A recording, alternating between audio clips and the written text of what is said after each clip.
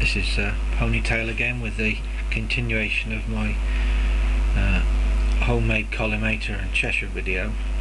Um, this is about the Cheshire and uh, basically what I've got is a piece of uh,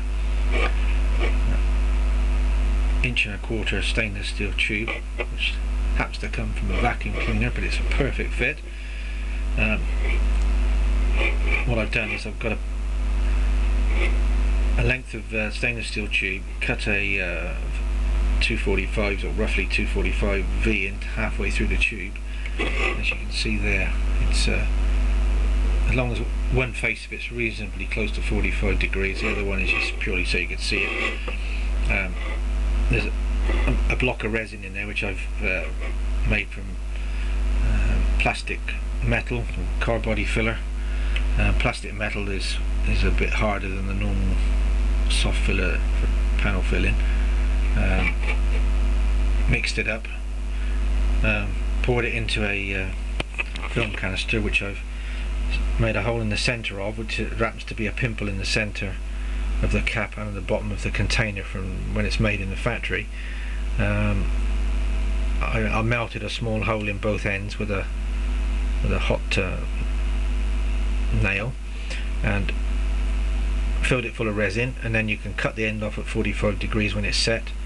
And um, if you if you leave a screwdriver or, or a nail in it while it's setting and pull that out afterwards you've got a nice hole in there roughly 3 16ths of an inch depending on the size of your nail that uh, gives you a nice um, hole in the center for your laser nice straight hole.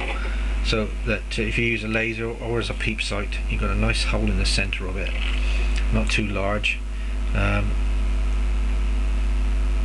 my laser that I made on the last program, um, last video, actually with a bit of film canister in there in the end, um, and the laser pushed in snugly into the end of the uh, stainless steel tube.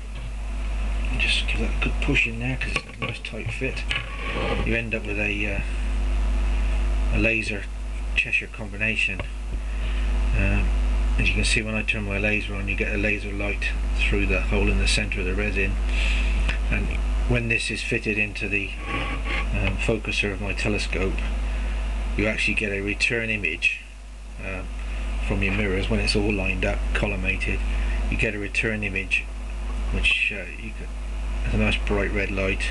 I'm just trying to get an image return. There you are. You can see an image moving across the face of the of the uh, the Cheshire there. Just do a clearer shot.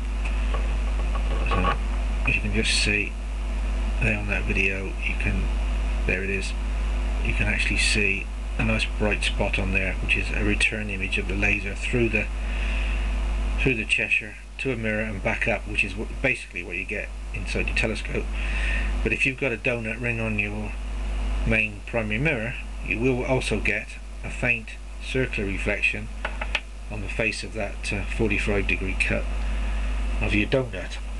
And if everything's correct you'll get your you'll get the donut around the outside of this hole. You'll get a, a shadow or a ring image around the outside of the hole.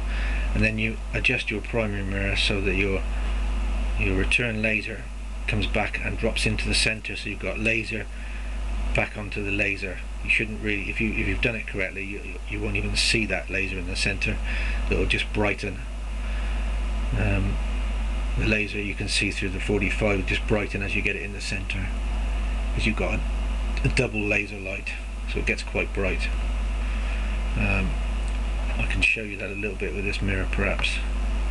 Just like so. You can see that if I move off center it's quite easy to see when you've got it in the middle